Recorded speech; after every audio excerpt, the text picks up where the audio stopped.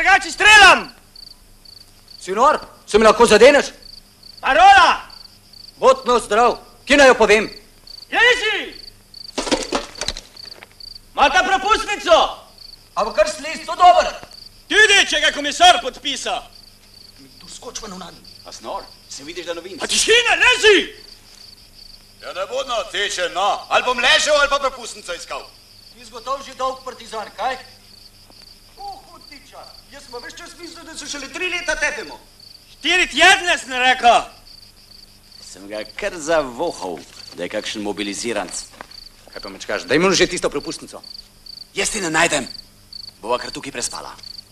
Glej no, se pri meni.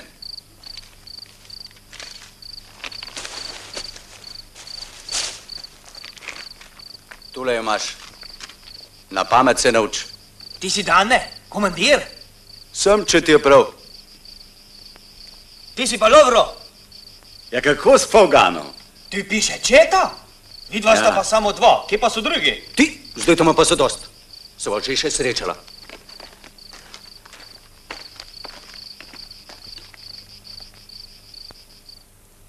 Zdravo, tigra! Sta še živa? Še, vsak dan bolj.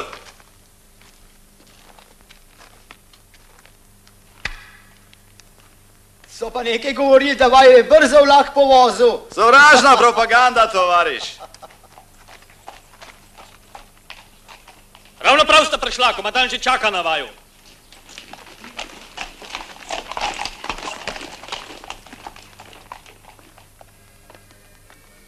Pozor, pozor, vlak prihaja na tretji tir. O, poglej ga, fanta. Se že pripravlja za poklic za povojsk. Si že cel Matija?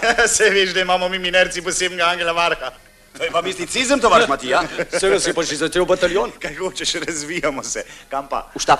No, ja, pa kar skupaj mahnimo. Koliko krat? 21 krat. Pa ti? Aerodrom, tri avioni, Fant, imaš ti srečo?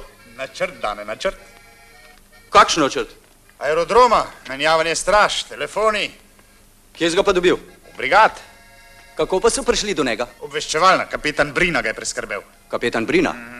Ne poznam. Je nov? Kakšen pa je? Kaj pa vem, tile obveščevalci so tako zakonspirirani, da jih še pod dnev zlučijo ne najdeš. Hej, komandir! V ta prvo kuhno smo rekli. No, pa pojmo najprej jest. Vaju bo pa itak komandant na kosil povabil. O, v hotel.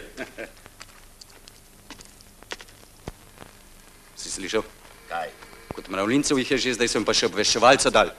So rekli načrt, ne povečevalca. Ista figa. A so nama že kdaj dal kakšen načrt, no? Načrt, progo pa ja na pamet Daj poznava. mi že mir s tisto progo. Ti. Kome sva prišla, pa naj jo že komandant kliče. Si ti kaj svet? E, Se nisem ciganka. ne? Akcija, stari, akcija. Kakšna akcija? Prava akcija, zaresna. Mi duš boš videl.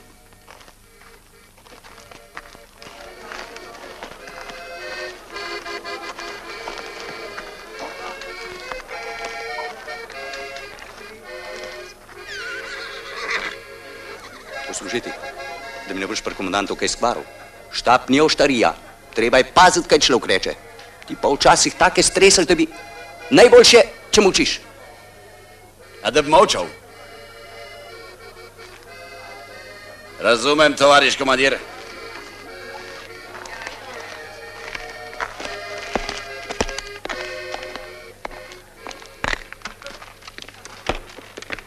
Zdravo, fanta, sem že slišal. 21 akcij, dobro ste izgečkala. Poslali bomo poročilo na divizijo. Zdaj pa nekaj drugega.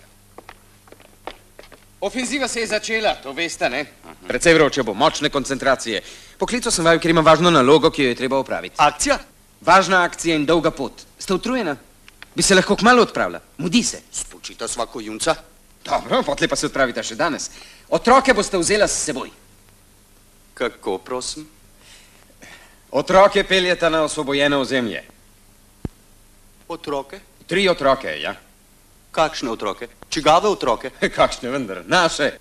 Naše? Še svoj živ dan nisem imel otrok. Rešili smo jih s transporta, to se pravi, da so zdaj naši, ne? Med ofenzivo jih ne moramo držati pri sebi, kurirske zveze tudi ni več. Ja, kaj pa je? Ampak jaz, tovariš komandant, mi dva sva v civilu vendar udarja, stara knapa. Zdaj pa že lep čas minerca, tovariš komandant. Minerca ne pa pester ne mej duš. Se prav zato? Kako? Izkušena borca sta znata se prebijati skozi zasede, zato sem tudi vaju zbral za to akcijo. Akcija? A je to akcija? Akcija za dva stara borca? Pa cela divizija se nama oborožala. Slušajte, Častna mi neska beseda, da se niti toliko ne spoznam na otroke. On pa sploh ne. On, on že nekako po natur ne prenese otrok, zato se tudi v ženu ni. Resno? Se jih bo pa zdaj navadil, mogoče se pa po vojni še oženi, kaj veš. Prid na osvobojeno pomeni prebiti se do reke. Z otroci se boste morala ugibati švabo bolj, kot če bi bila sama. Torej, raj pet ovinkov, raj dva dni hoda več, kot pa en sam strel brez potrebe. Mi je prav žal, ne bo šlo. Zakaj ne? Pa ne bom zdržal, da ne bi strelil, če mu videl švabe. Ne, ne morem. Se veš, star borci, no tudi. Oh, prekleta cigana, tako le barantata z mano. Čakaj. Takole. Stole boš stokrat bolj varno našel poti, kot pa z mitraljezom. No, daj.